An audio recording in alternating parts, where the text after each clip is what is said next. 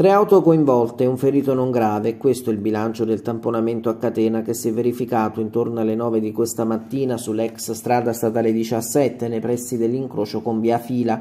A ricorrere alle cure mediche del locale pronto soccorso è stato un anziano di Pacentro alla guida di una Peugeot, uscita fuori strada finendo sulla vegetazione circostante, vetro posteriore sfondato, tanta, tanta paura, ma le condizioni dell'anziano fortunatamente non destano preoccupazione. Necessario sul posto l'intervento di 118, polizia, carabinieri. Da una prima ricostruzione si è appreso che la Peugeot stava svoltando in via fila quando sarebbe stata tamponata dalle due auto, tra cui un fiorino.